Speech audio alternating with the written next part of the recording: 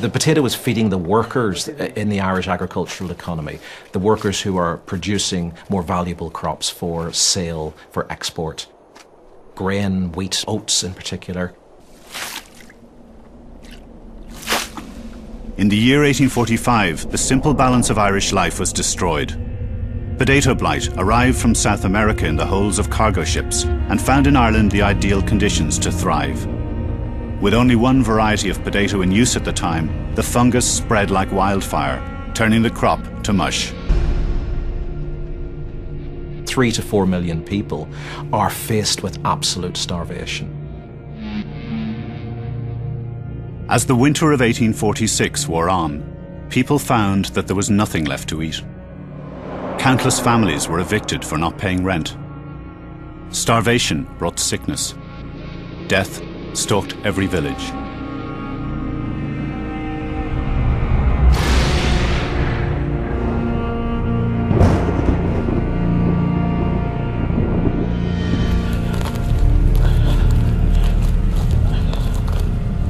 we start to see people engaging in crisis behaviour,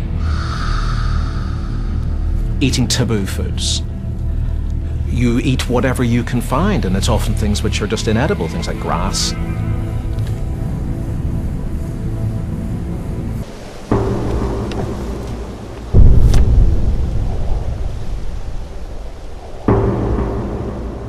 Imagine leaving your house, your home, It's a good house to us. The place you have grown up in, that you have, your family has lived for generations.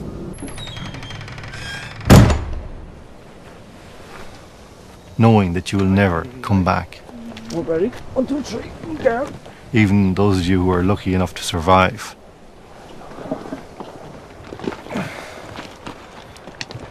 It'll be all right. That it's over. It's finished. Your life is over.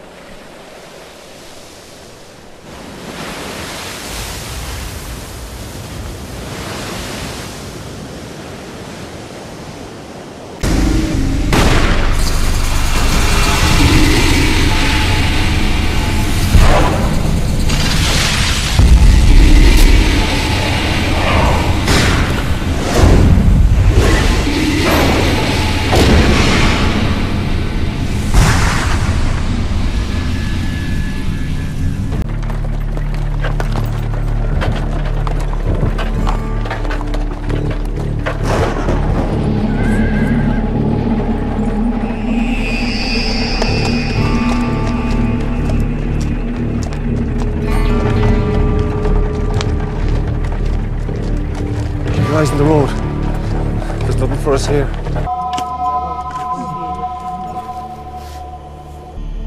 Heavenly Father, command these souls to life everlasting. In the name of the Father, the Son, and the Holy Spirit. Amen. The Irish were desperate to leave. While many went to England, the preferred option was North America. But as the costs of entering the United States escalated, in 1847, over 100,000 people chose to head for Canada. Come on, move on, come on. Oh, move on, move. Get them over here, come. Thank you. Many of the refugees are carrying typhus. The doctors look for a black marked tongue and a pale and lethargic countenance. You can go.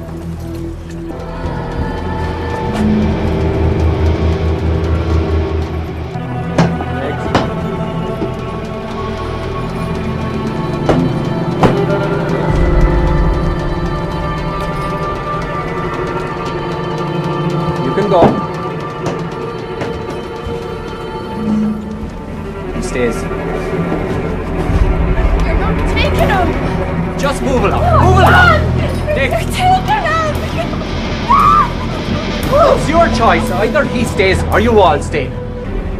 These men will take care of you, son. Oh, okay? No. We'll come back for you. Alright?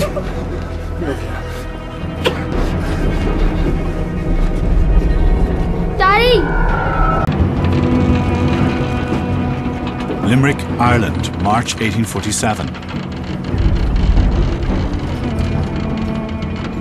Having sold all their earthly possessions and leaving their youngest son sick behind them, the Willis family board the Jessie, a cargo ship bound for Canada. The journey would often take two months against the harsh Atlantic weather. Passengers were locked below decks, where they were less trouble to the captain and crew. On the Jessie, the Willises would have been crammed below decks with several hundred other passengers. All would have had to provide their own food, and there was no sanitation to speak of. Emigration in 1847 is a gamble. There are tremendous risks involved, and sometimes the people taking those risks don't actually know how long the voyage is going to be, how much food they need to bring with them, what the danger of disease is on board. They know that it's risky, but at least getting on the boat offers hope.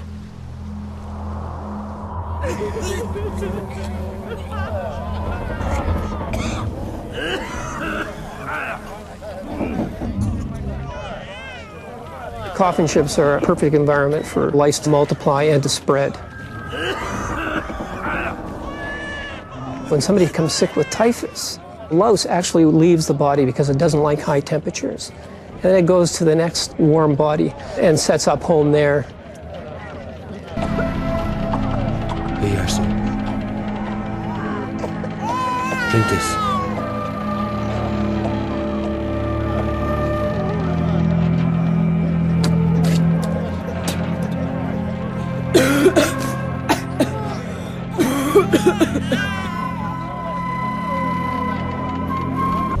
Abandoning their youngest son in Limerick should have brought an end to the Willises' troubles.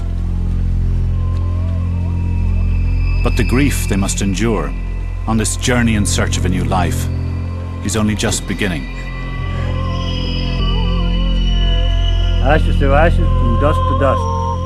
You have to go. Their 18 year old dies of typhus. His body dropped overboard with little ceremony.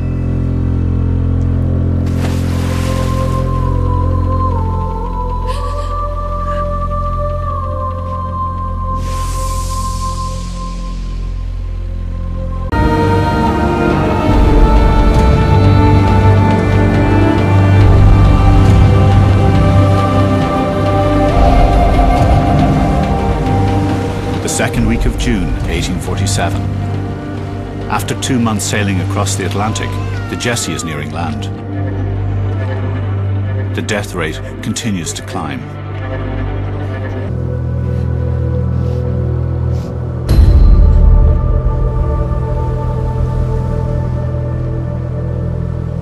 On the 14th of June, nine weeks after leaving Ireland, the Jessie finally arrives on the Canadian coast.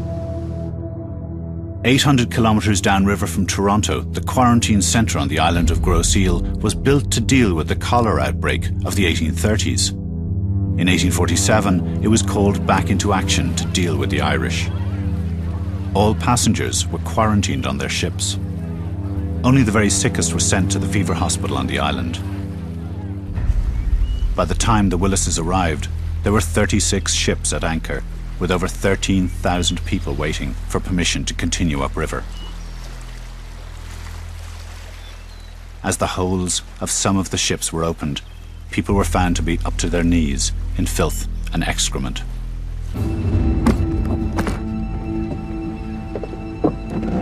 Good afternoon, Captain. Welcome aboard, Doctor. On Grosse Ile, the limited medical facility that they had did the best they possibly could, but they were overwhelmed. Dr. Douglas, who's the medical superintendent at Grosse Ile, emerges as one of the unsung heroes of the Great Famine. Man who sort of completely commits himself to working as hard as he can amongst the poor, you know, great personal uh, risk to himself. I'm sorry, you have to go with the nurse. But many of his, his assistants and many of the priests and ministers who visit the island die from fever contracted from the immigrants. Uh, I'm afraid you'll have to go with the nurse. The article that was found in the Toronto Globe states that at Grosse Ile, 16 year old Mary Ann Willis is taken from the ship for treatment at the hospital. And there would be good chances that when you were taken off ship in the St. Lawrence River that you wouldn't return.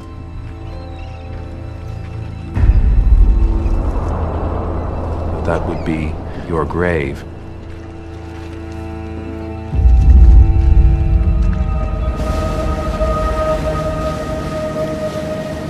Mon travail, c'est d'inspecter tous les bateaux qui veulent se diriger vers le port de Québec, ainsi que d'inspecter tous les immigrants qui se trouvent à bord, c'est-à-dire vous. Exactement. Nous allons donc procéder avec un examen médical. Pour ce faire, je vous présente Mademoiselle Wade, une de nos infirmières ici à la station, qui va m'aider pendant tout le processus d'inspection. Que je me suis bien fait comprendre. On va devoir vous inspecter comme ceci deux fois par jour dans le secteur des hôtels pour être vraiment certain que vous ne développiez aucun symptôme de maladie contagieuse. Pour commencer, on va vérifier la couleur de votre langue. Parce qu'une langue blanche, c'est un signe de déshydratation. C'est généralement lié au choléra.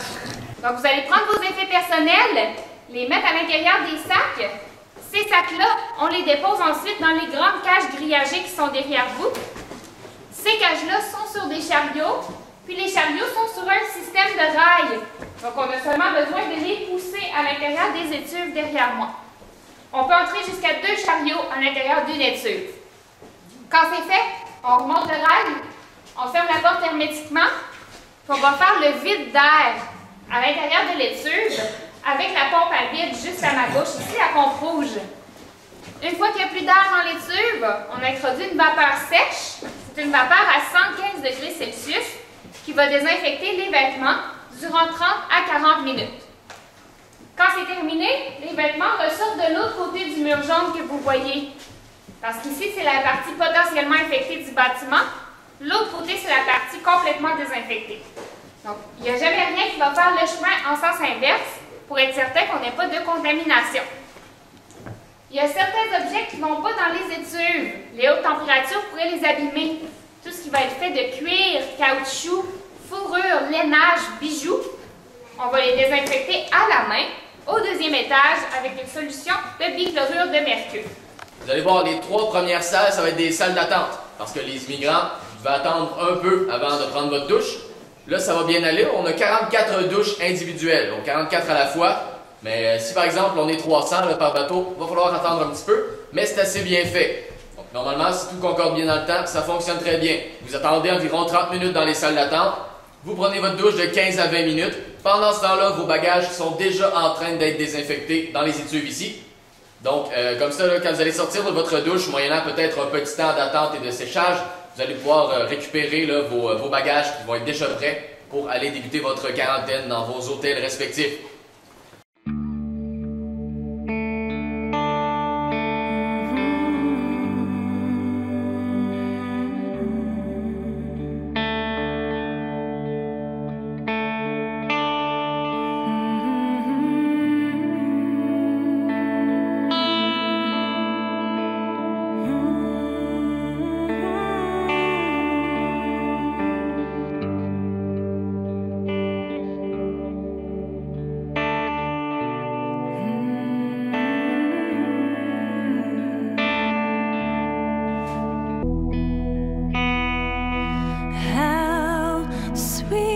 the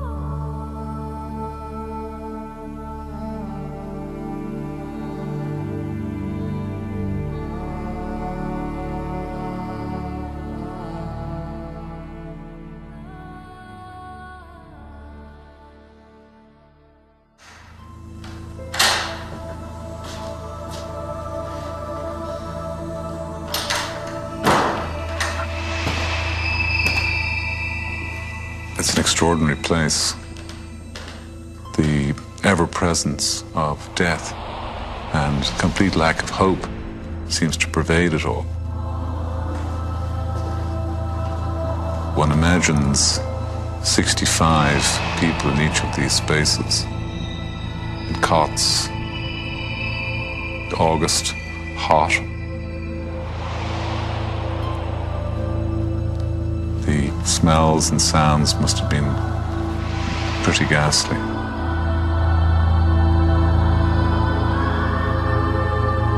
And form that realization at some point in time that you're not going to recover from the illness. Or if you have recovered, your wife or your husband or one or more of your children are not going to recover. And what that must have been like. I find that very difficult to deal with. Must have been very difficult.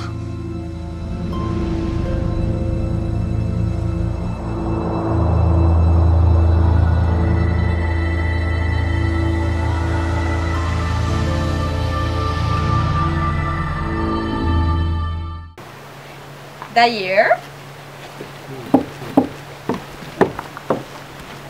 vous pouvez voir mon chambre personnelle juste là. Là. Mais ce que je voulais vous dire, c'est que je trouve ces 7 jours de quarantaine interminables. Avec ces examens médicaux où on nous observe et on nous inspecte. Et ne me faites pas parler de la douche désinfectante. Avez-vous pris votre douche? Oui. Comment vous avez trouvé la douche?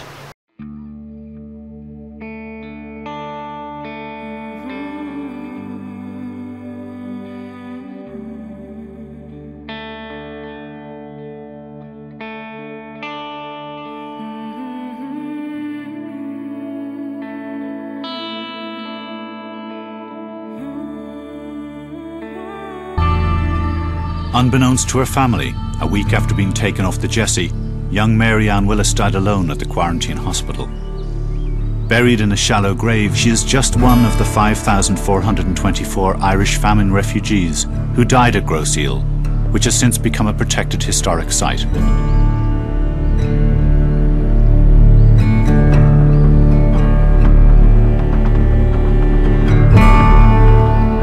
So these are names that really make up the commonality of what we know in Canada. Certainly, they're very familiar names. But it's so many people. So we've Whitakers, Williams, and there she is, Mary Ann Willis. The only one of the family to die here in Grosse Ile. And strangely enough, she's the only Willis on the wall as well. Everything about her life seems to have been very lonely and singular, certainly in death. Even though she came from a family of seven, it must have been terrible to have lost her brother on the dock in Limerick.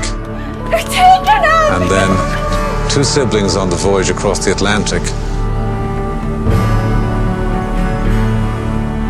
And then had to say goodbye to her parents here in Ile. Then to die here on her own.